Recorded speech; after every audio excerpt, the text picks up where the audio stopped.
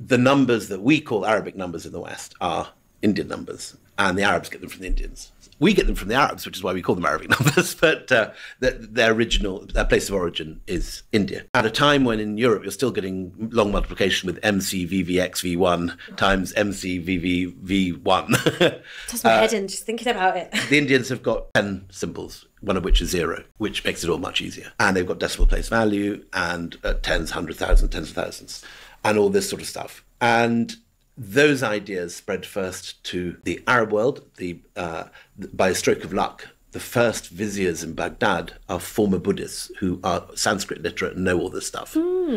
Uh, and these guys, who they're a family called the Barmakids, send a mission to Sind, and in 776, the Sind Raja, who wants peace with this enormous, very fierce empire, sends the works of Brahmagupta, who's this early Indian uh, mathematician. Uh, it seems to be a sort of compilation of two of his books, which the Arabs call the Sind Hind. And uh, this becomes the basis for Islamic maths and astronomy. It's simplified and clarified by a genius called Al